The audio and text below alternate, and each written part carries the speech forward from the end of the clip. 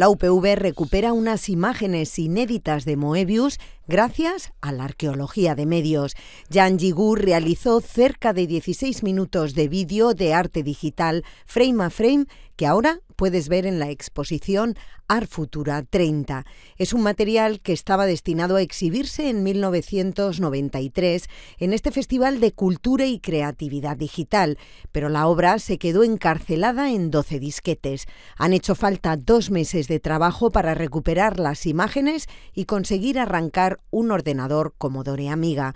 Intercambio de opiniones en foros y lecturas especializadas han permitido rescatar las obras digitales en el Museo de Informática de la Universidad Politécnica de Valencia. Descubrimos un poco que la carta con la que venían los discos también contenía información sobre instrucciones de cómo hacer funcionar y cómo poder ver las imágenes que había en estos discos y lo intentamos, pero en ese momento pues no, no, salió, no salió, intentamos más o menos seguir las instrucciones de esa carta que estaba en francés y que tampoco la estábamos viendo con un minuto y poco más y, bueno, no salió, ¿vale? Porque, pues porque ahora ya sabemos posteriormente que lo que necesitábamos era que los discos estuvieran volcados. La compra de nuevas piezas informáticas permitió acercarse al descubrimiento. En un PC moderno tenemos un emulador de una máquina como esta, la configuramos además diciéndole pues, que esta carpeta determinada va a ser el disco duro de este ordenador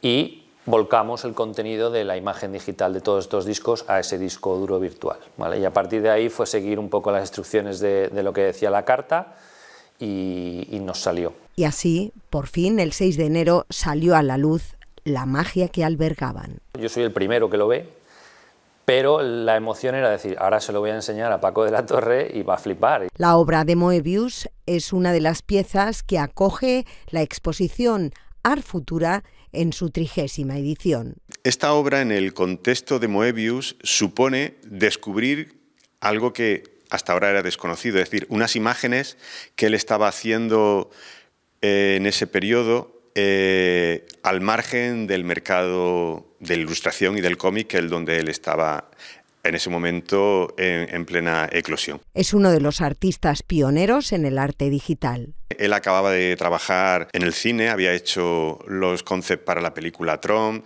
y había trabajado con Ridley Scott en, en Alien y todo ese bagaje estaba, yo entiendo que eh, implementado en los trabajos que estaba haciendo, en, trasladando al discurso de la imagen digital. Art Futura se ha consolidado como un referente en el panorama internacional del arte digital, el diseño de interacción, la animación 3D, la realidad virtual y el new media.